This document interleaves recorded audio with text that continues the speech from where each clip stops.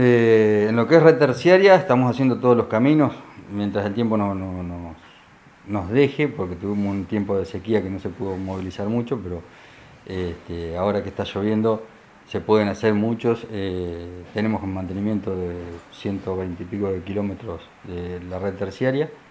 Este, y bueno, normalmente se mantiene bien, se dejan bien, bien. Contamos con un buen equipo, tanto de empleados como de maquinaria. Eh, bueno, siempre con el apoyo de Vialidad Provincial, eh, que siempre tenemos buena comunicación con, todo el, equipo de, provincial y de Vialidad en particular. Es mixta, pero más eh, cerealera, sí. Eh, tiene, los campos se dedican mucho más a la siembra que, a la ganadería, pero hay bastante ganadería.